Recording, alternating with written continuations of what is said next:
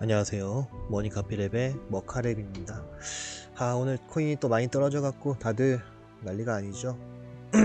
물론 여러분에게 지금 제가 어떤 말을 해도 잘 들리진 않을 테지만 지금이 우리에겐 기회입니다. 무슨 기회냐면 실력을 쌓을 수 있는 절호의 기회예요.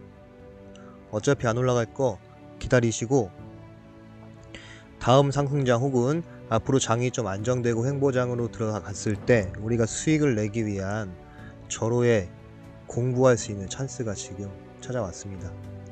오히려 지금 아무것도 안 하고 공부하시는 게 여러분에게 어, 도움이 아주 큰 도움이 됩니다. 저와 같이 열심히 차트 공부하시기를 바랄게요. 자, 우리가 이미 다 배웠던 내용인데 여러분에게 차트를 볼 때, 투자를 할 때 최소한의 기준이라는 걸 명확하게 지금 제가 말씀드리는 건 죽었다 깨어나도 무조건 지키겠다는 원칙을 가지고 차트에 접근하세요. 그래서 어, 내가 오늘 수익을 얼마나 냈냐 이거는 전혀 중요하지 않고 앞으로 여러분의 목표는 내가 세운 기준을 오늘 잘 지켰냐 잘 지켰다면 본인에게 칭찬하는 의미로 수익이 돌아오는 겁니다. 그래서 수익이 중요한 게 아니라 내가 세운 매매 원칙을 잘 지켰는가 그것을 여러분은 매일 체크하십시오. 뭘로 체크하시면 됩니까? 매매 일지를 통해서 체크하면 됩니다. 투자의 기본은 바로 매매 일지입니다. 어떠한 고수들도 매매 일지 안 쓰고 고수가 된 사람은 지구상에 존재하지 않습니다. 매매 일지를 쓰지 않으면 본인의 잘못과 본인의 어, 특징과 본인의 잘하는 점에 대해서 전혀 알 수가 없어요. 그래서 매일매일 뇌동매매를 하게 됩니다. 인간은 어저께 내가 잘했던 걸 까먹죠. 어저께 내가 뭘 못했는지 기억하지 못합니다. 하지만 그런 것은 전부 다 매매일지에 적혀 있죠. 그래서 매매일지에 쓸 때 머가리처럼 수익이랑 손실만 쓰는 게 아니에요. 내가 여기서 타점을 왜 잡았는지 반드시 기록해야 돼요. 그리고 매매일지에 내가 어떤 의미로 타점을 잡았고 왜 손절을 했고 왜 익절을 했는지 적을 수가 없다면 여러분은 매매를 실패한 겁니다. 그것이 손절을 했던 익절을 해서 수익을 냈던 여러분은 매매를 실패하신 거예요. 완벽한 실패, 패배자가 되신 겁니다. 그래서 매매일지에 내가 기록할 건덕지가 있어야지만 매수를 해야 되고 매매일지에 내가 기록할 건덕지가 있어야지만 익절을 해야 되고 매매일지에 내가 기록할 건덕지가 있어야지만 손절을 할 수가 있습니다. 이거를 지키지 않는 모든 매매는 그 결과가 어찌됐든 전부 다 100% 실패한 겁니다. 이거를 명심하시고 지금부터 매매일지를 철저하게 기록하십시오. 자, 그럼 매매일지를 기록하려면 매매가 너무 많아지면 횟수가 많아지면 자, 매매 횟수가 많아지면 당연히 승률은 떨어집니다. 왜냐면 차트엔 중요한 자리라는 게 있는데 몇 번 오지가 않아요. 일주일에 한 번 와도 잘 오는 거예요. 중요한 위치는. 근데 여러분은 하루에도 몇 번씩 매매를 하시죠. 그러니까 중요한 위치는 매일 놓치게 되는 거고 매일매일 대가리가 깨지는 겁니다. 어쩔 수 없는 현실이고요. 여러분이 그 현실을 스스로 만들고 계신 겁니다. 누굴 탓할 필요도 없어요. 차트가 문제가 아니고 여러분 스스로에게 그 문제가 있는 거예요. 자, 그러면 우리는 이제 기준을 정합시다. 지금부터 제가 시킨 대로만 하십시오. 여러분 승률 무조건 3배 이상 올라갑니다. 첫 번째 기준 뭐냐? 아까 얘기 드렸듯이 매매 일지 무조건 짤 없습니다. 이거 안 쓰고 뭐 씨 내 친구처럼 내 친구는 뭐 위믹스 10만 1000만 원 샀더니 지금 40억이더라. 이런 개소리 하실 거면 지금 당장 나가시고 우리는 trading을 얘기하는 겁니다. 그런 예언자 같은 이상한 헛된 기대로 풀매수 박았다가 운 좋아서 돈 버는 거 말고요. 돈 벌 수 있는 방법대로 돈을 벌 거예요. 운 좋아서가 아니고 매매일지가 첫 번째입니다. 반드시 쓰시고 여기에는 내가 진입한 타점을 잡은 근거와 익절한 근거 그리고 손절한 근거들을 반드시 쓰십시오. 그리고 내일이 되면 다시 펼쳐보시고 어떤 게 실수였는지 반드시 찾아내십시오. 즉 여러분이 익절하고 손절을 하시면 여기서 매, 어, 타점을 잡았던 요 근거 이게 틀렸음을 바로 알 수 있어요. 차트가 지나가고 나서 아 나는 올라갈 줄 알고 여기서 슈팅 candle이 나와서 슈팅 라인을 긋고 여기서 돌파할 때 들어갔는데 아, 지금 생각해보니 아, 4시간 봉 종가를 확인하지 않았네요. 라든가 이런 어, 잘못된 부분들을 꼭 찾아내시기 바랍니다. 반대로 잘한 부분도 찾으세요. 잘한 부분은 본인의 어, 장점이 돼요. 그거는 계속해서 활용하시면 돼요. 그죠? 자, 첫 번째는 매매 일지가 되겠다. 어, 반드시 무조건 이거 없이는 절대 성공 못해요. 제가 제 손모가지를 걸고 약속할게요. 아, 말씀드릴게요. 매매일지를 쓰지 않는 투자자는 성공을 절대 절대 죽었다 깨어나도 할 수가 없습니다. 여러분이 천재가 아닌 이상, 오녀띠가 아닌 이상. 두 번째, 이대로만 하세요. 매매는 하루에 기회가 여섯 번밖에 없어요. 여러분에게 주어진 기회는 여섯 번의 타점을 잡을 수 있는 기회가 주어집니다. 그리고 익절과 손절 기회도 여섯 번이 주어집니다. 자, 이 여섯 번은 무엇이냐? 최소한 4시간봉 종가는 확인하세요. 4시간봉 종가는 무조건 확인하고 나서 타점을 잡자. 반대로 4시간봉 종가는 확인하고 나서 익절을 하고 손절을 하자. 아, 요거만 지켜보십시오. 그리고 내가 잡은 손절 라인, 익절 라인에 도착하지 않았는데 설레발로 팔고 이딴 거 그거 안 하게 됩니다. 4시간봉 종가를 확인하시면.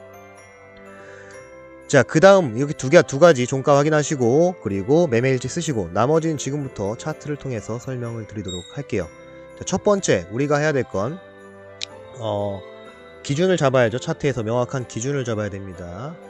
어, 큰 차트를 보시라 그랬죠. 월봉도 보셔야 되고 주봉도 보셔야 돼. 타점을 잡기 전에는 무조건 첫 번째로는 월봉을 보자. 월봉. 그럼 지금은 이 요 빨간색 이 장대 음봉이 있는데 이게 없는 상태겠죠? 아, 요 정도에 와 있겠죠? 그죠? 여러분이 타점을 잡으려고 해. 예를 들어 candle이 여기 있다고 가정을 해보도록 할게요. 아 그럼 저점에 닿았네. 아 이거는 발바닥 long 한번 준비를 해봐야겠다. 라고 하면 타점은 여기다 잡을 수 있죠.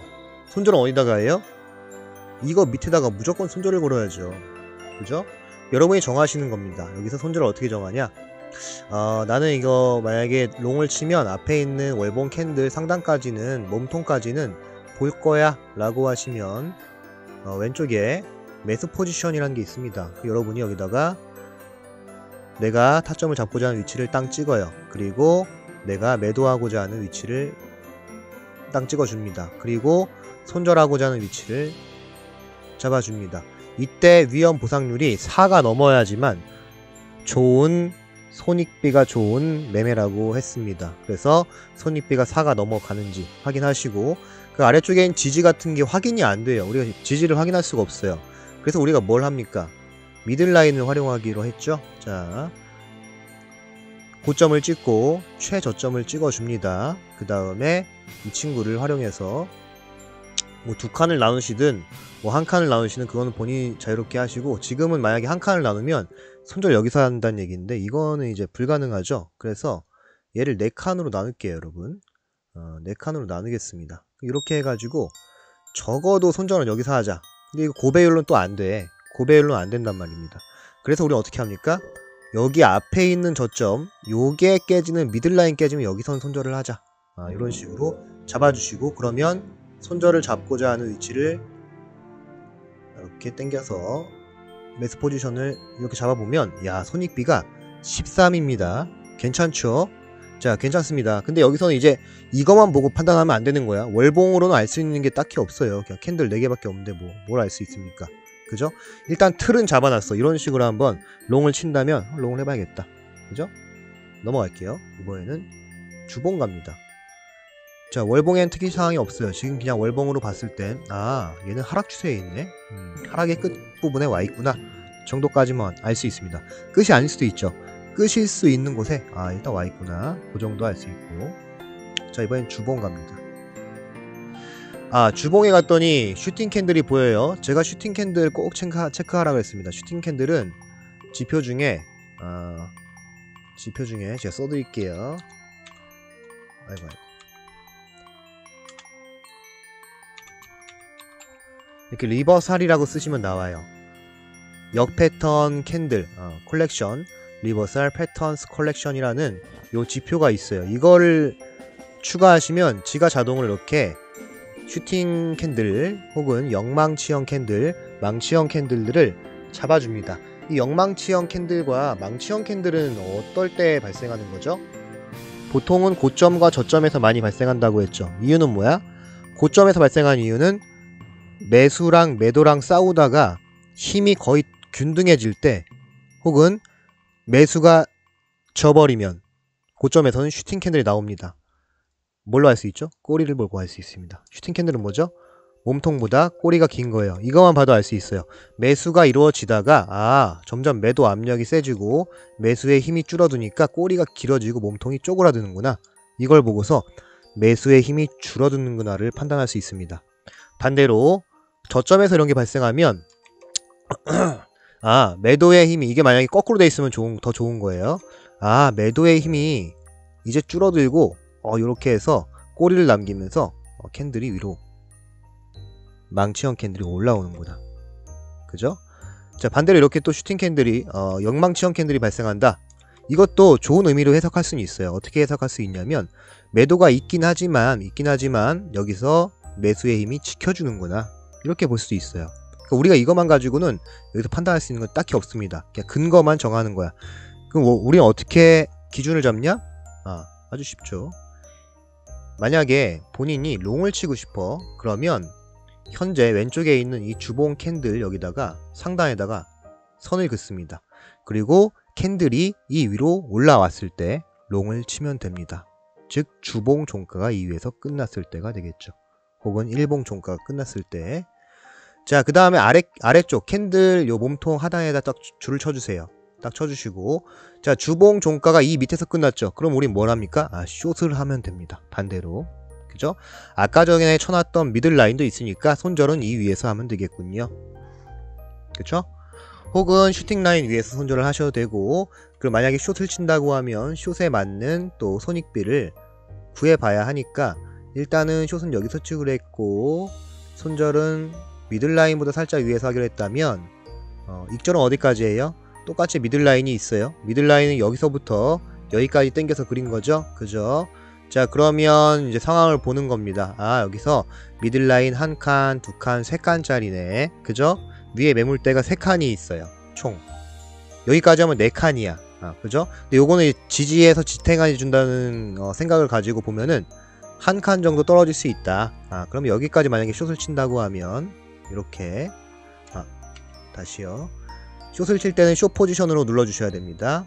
매수 포지션이 아니고 이렇게 나는 1차적으로 여기서 한번 1차 익절을 좀 해볼래 라고 하면 어, 위험 보상률이 16.59가 나와요. 엄청 좋은 거죠. 어.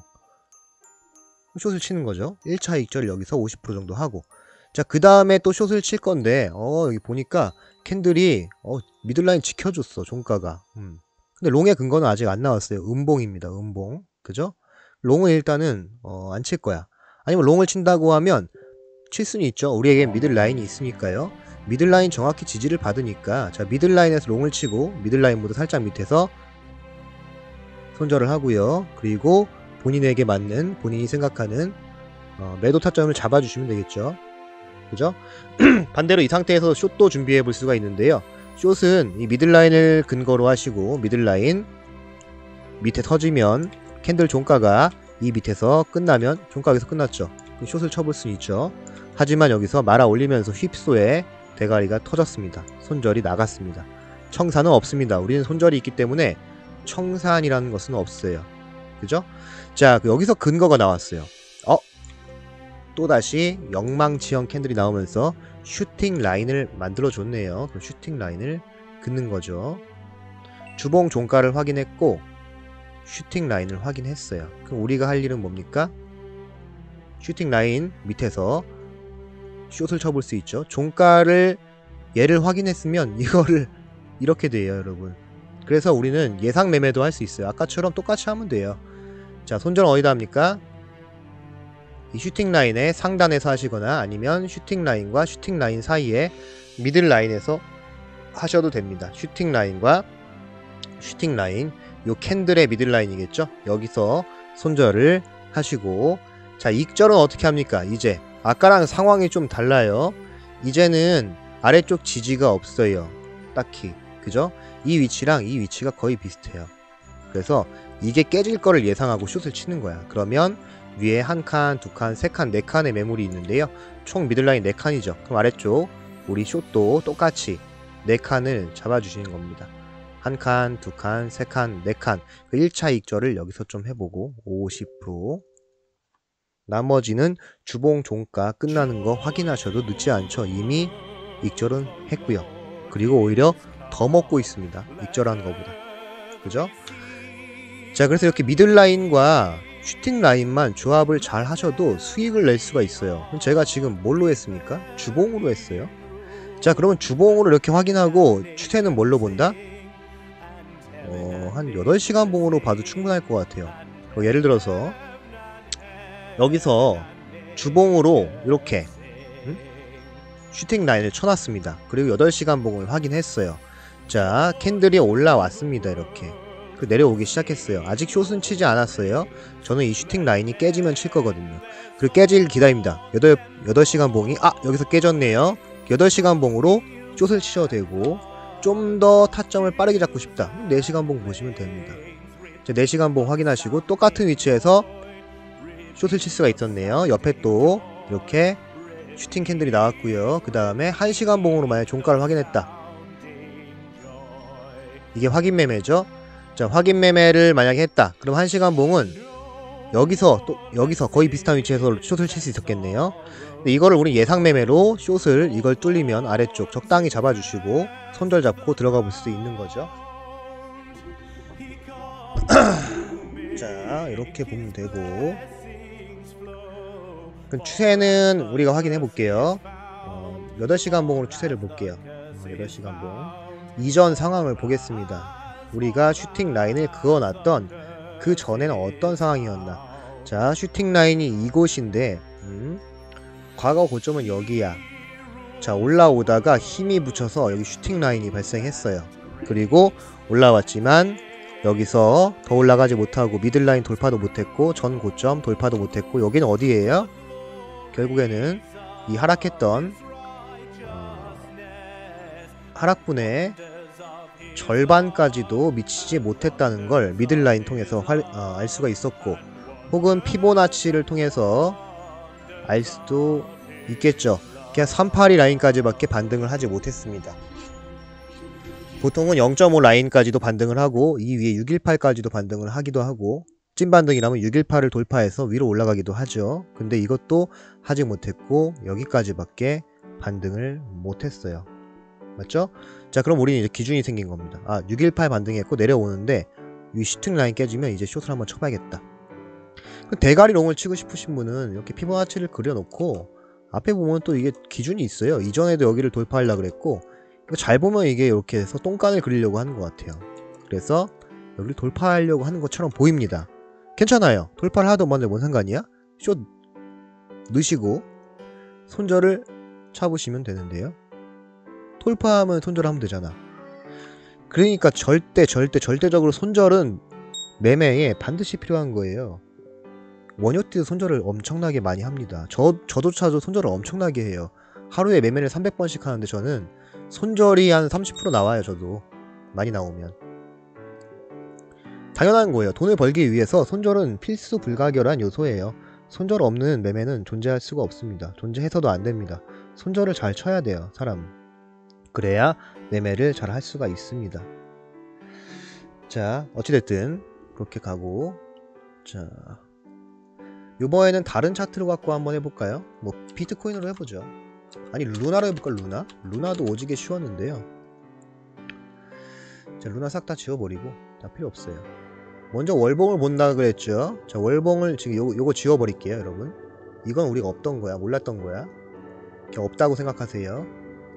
한 여기쯤 음봉이 여기쯤까지 왔다고 생각하세요.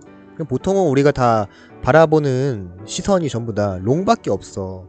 근데 월봉을 보면 이게 되게 애매해요. 왜냐하면 고점에서 고점을 쭉 올리지 못하고 계속 거의 제자리 걸음이에요. 월봉으로 보면. 그리고 이미 음봉 나왔고요. 그냥 음봉입니까? 아니요. 전혀 그냥 음봉이 아니고 아래쪽에 꼬리가 없는 음봉이에요. 좋은 음봉입니까? 안 좋은 음봉입니까?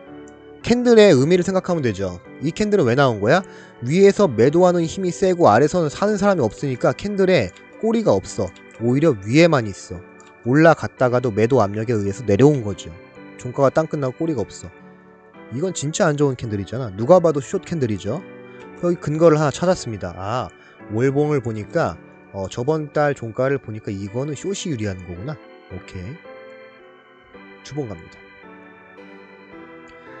자, 주봉을 가니까 여기 또 슈팅 라인이 있습니다. 슈팅 라인을 그려주세요. 두 개나 뭉쳐 있네요. 그럼 두 개를 하나로 보십시오, 이렇게. 그리고 하나는 뭐 손절 라인으로 쓰셔도 되고, 이렇게.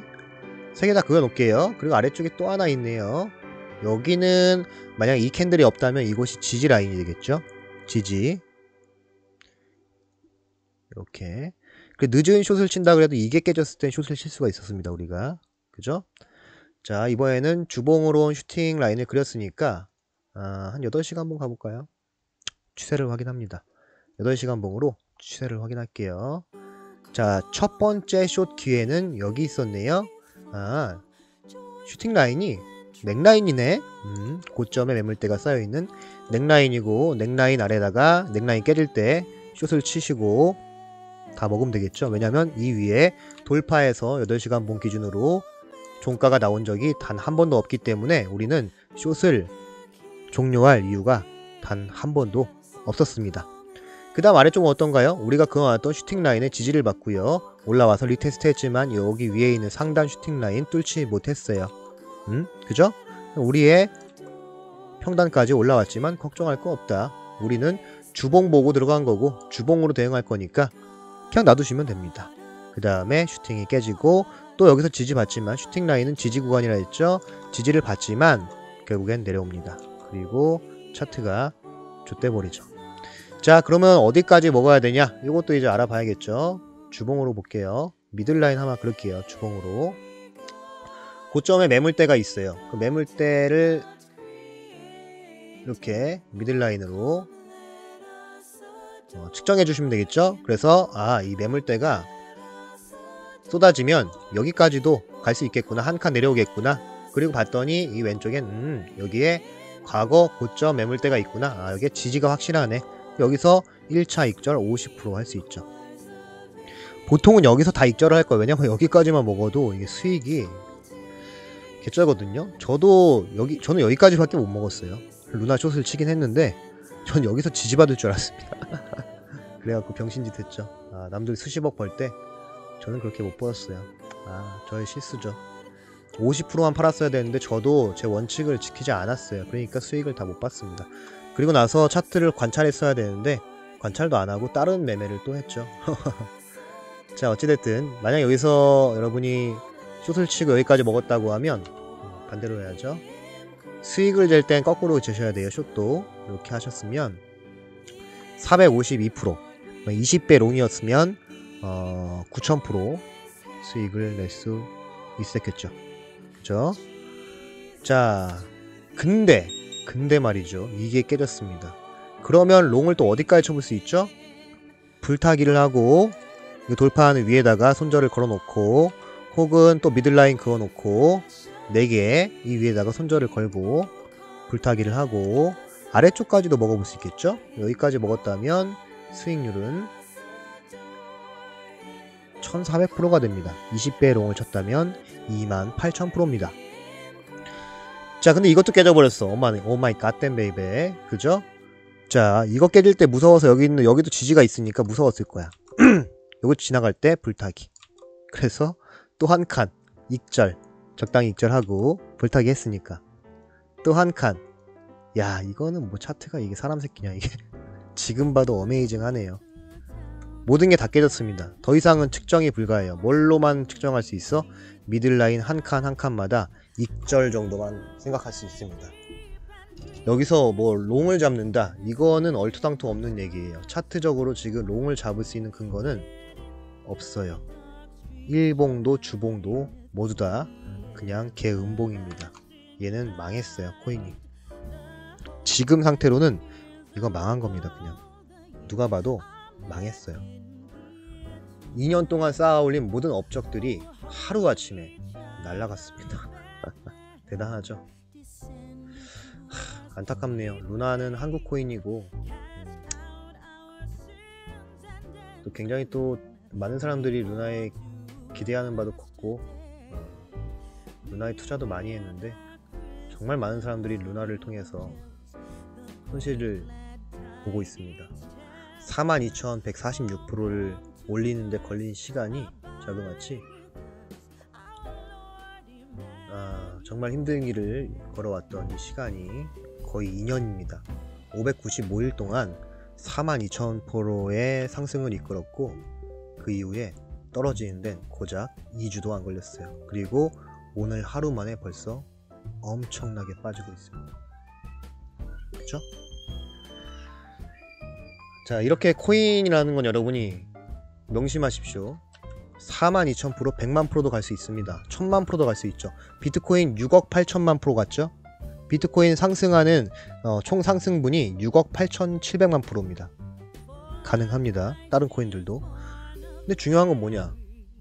하루아침에 6억 8천만 프로가 빠질 수도 있다는 겁니다.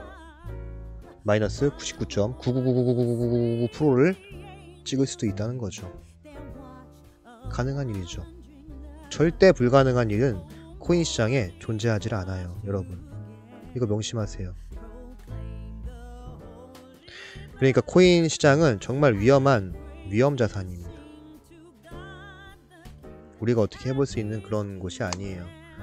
존버는 정말 쓰잘데기 없는 짓입니다. 코인 시장에서. 존버는 딱 한 개만 할 수 있어요. 뭐만? 온리 비트 코인만. 비트코인만이 13년 됐고 13년간 비트코인만이 계속해서 상승을 해왔기 때문입니다.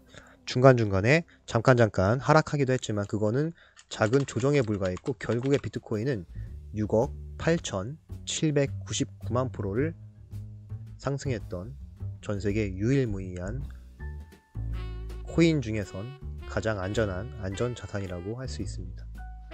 아, 바이낸스네. 자, 12년, 13년 차트를 보여드릴게요. 다 지우고 그림을 많이 그려놨어요. 자, 보시기 쉽게 요, 아니 이것도 켜놓게. 음. 월봉 차트예요. 자, 월봉 차트로 보시면 단 한 번도 이 추세가 깨지지 않으면서 엄청난 상승을 지금까지도 계속해서 이어오고 있습니다. 그리고 제가 이 빨간 라인 그려놓은 걸 잘 보십시오. 이 빨간 라인 꼬리 땅땅 찍고 빨간 라인 밖으로 나간 적이 아직까지는 없어요. 어, 현재는 이곳에도 도착하지 않았고요. 그 저는 여기서 매수를 받아보려고 이렇게 풀대출 집 팔고 때려박을 거임 이렇게 써왔습니다. 대략적으로 19,000에서 18,000 정도가 되겠고요. 분할 매수를 하신다 그러면 2만부터 받아보실 수 있을 것 같아요. 물론 여기까지 온다는 100% 보장이 있는 건 아닙니다. 하지만 저는 온다면 무조건 매수를 할 거고 무조건 다시 또 상승할 거라고 생각을 하고 있어요. 그렇다고 루나처럼 되지 말라는 법은 없어요. 악재가 터지면서 가능한 일이죠, 여러분. 어, 비트코인도 위험 자산에 속하는 겁니다. 비트코인과 일반 코인의 차이점은 제가 아까도 말씀, 아, 아까란다. 저번 영상에서도 말씀드렸지만 큰 차이는 있습니다. 얘는 화폐의 개념을 갖고 있고요. 다른 코인들은 화폐 개념이 아니죠. 다른 코인들은 프로젝트에 진행한 프로젝트에 대한 부산물로 발생하는 게 코인이에요. 코인이 메인이 아니에요. 코인은 어떠한 프로젝트의 부산물입니다. 작은 일부분일 뿐이에요. 그렇기 때문에 얘는 가치를 이 프로젝트를 통해서 측정하는 겁니다. 좋은 프로젝트면 가치가 좋은 거고 상승하게 되는 거죠. 그죠? 자, 그래서 오늘 강의를 요약하자면 우리는 매매 일지를 반드시 써야 된다. 매매 일지. 그 다음에 기준을 정하다. 아, 기준이 아니었죠. 어, 기준이 종가를 보자. 종가. 그리고 세 번째 손익비. 그리고 네 번째 어, 슈팅 라인과 미들. 근데 제가 이것만 알려드린 게 아니야. 나머지 오더 라인도 있고 거지선 거저선도 있는데 그것도 활용하시면 돼요. 다양한 걸 활용하실 수 있는데 오늘은 그냥 짤막하게 영상 서, 어, 설명드리기 위해서 그냥 슈팅 라인만 설명드린 겁니다. 나머지 라인들도 있어요. 거지선도 있고 거저선도 있고 전부 다 매매할 때 기준이 됩니다. 그 기준을 잘 지키시면 돼, 여러분. 결국엔 아셨죠? 자, 그래서 오늘 어, 방송은 이렇게 해서 어, 방송이 아니죠. 영상은 이렇게 마무리를 하고요. 어, 다음번에 또 다른 다음번엔 슈팅 라인과 middle line 말고 뭐 거지선, 거저선 그리고 슈퍼 채널 이런 것들 활용해서 매매하는 것도 또 어, 보여드리도록 할게요. 자 오늘 영상 시청해주셔서 너무 감사하고요. 다들 힘드신 장에서 모두 힘내시기 바라고 꼭 이 장에서 살아남으셔서 다음번 슈퍼사이클 엄청난 상승 비트코인 6억 프로 올랐던 이 상승을 우리도 다 먹어봅시다. 음. 쓸데없이 선물, 아니, 선물 하시면서 청산 나가지 마시고요. 돈을 버실 수, 있- 버실 수 있어요. 버실려면 제가 지금 말씀드렸던 기준들을 반드시 꼭 잘 지켜주시기 바라고요. 자, 여기까지. 바이바이.